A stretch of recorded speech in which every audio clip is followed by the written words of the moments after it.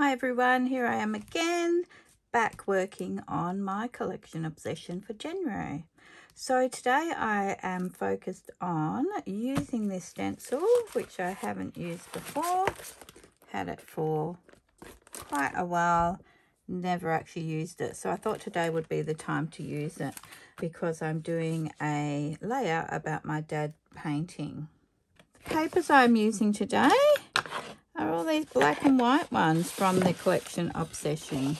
If you haven't had a look at the first video, that's available if you want to have a look at the full collection of papers.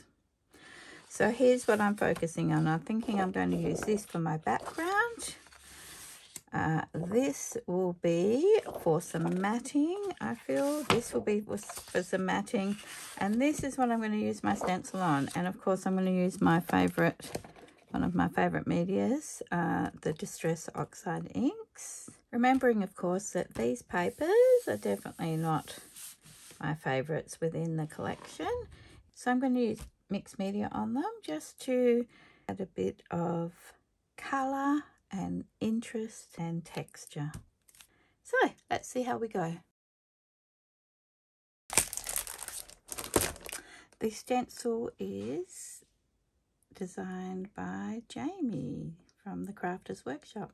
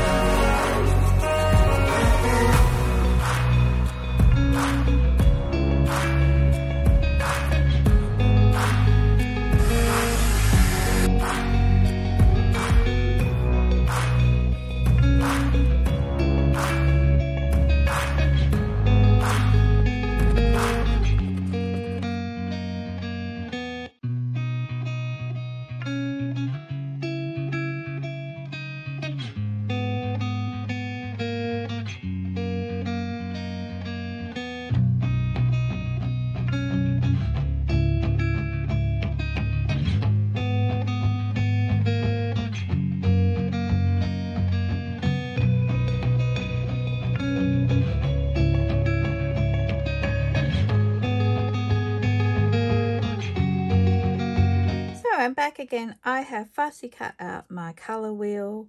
I have distressed the edges of each piece and I've stuck it onto my background layout slightly off center and trimmed off this side.